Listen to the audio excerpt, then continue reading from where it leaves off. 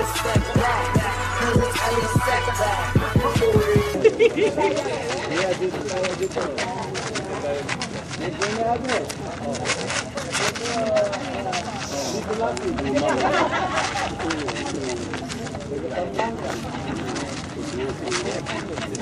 To the Olympics, Brazil 2016. I hope, man. Olympic, bro.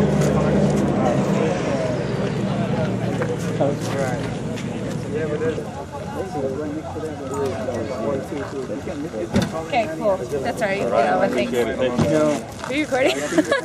You got fans. it's crazy. I gotta go. I gotta go eat. Number one fan? Best. Why? I'm gonna be the best female boxer. And you know, I said, train me the best. You know him, bro?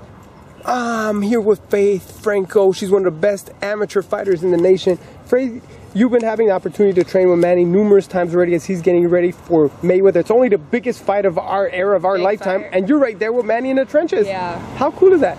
It's awesome. It's uh, it's great. Keeps me on my grind. Keeps me focused. Makes me want to succeed at boxing even ten times more.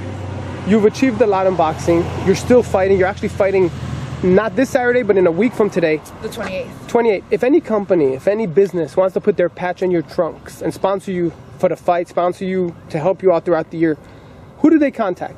They could uh, email me, or they could uh, contact my coach Victor Valenzuela, or you could email me faithfranco25 at gmail.com for sponsorship. One more time. Faith. Faith Franco, F A I T H, Franco, F R A N C O, 2525 at gmail.com.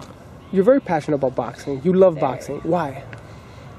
It's helped me turn my life around for the best. I wasn't who I am today maybe seven years ago in high school. Messing up in high school, fighting, and with boxing, I've learned discipline, focus, determination, and become very humble. What have you been some of your biggest achievements in the ring so far? Biggest achievements? Uh, being a silver medalist in uh, 2013. 2013, I was a silver medalist. 2000. Is that all in all the nation? You were number two in all the nation? I was number two in all the nation. That's awesome. I You know how many people live in America? You know, yeah, you know how many Americans we have here. yeah, and, uh, and then I got to fight. I fight in Tahiti. I've been there three times to fight with the U.S. against Tahiti. I fought in New Zealand in June, so that was my last fight.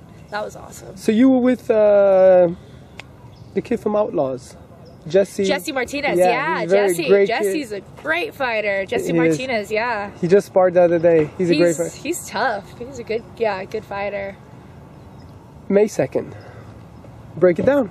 break it down. Okay, like I said before, um, I give all respect to Mayweather. Great fighter. He's uh, very talented, but I think Manny's going to take it just the way. Like I said, I always use Maidana as an example. That first fight that he fought Mayweather, he pressured Man. Uh, he pressured Mayweather nonstop. If Manny pressures him, which he will, he will win. Um, I don't think Mayweather will knock Manny Pacquiao out.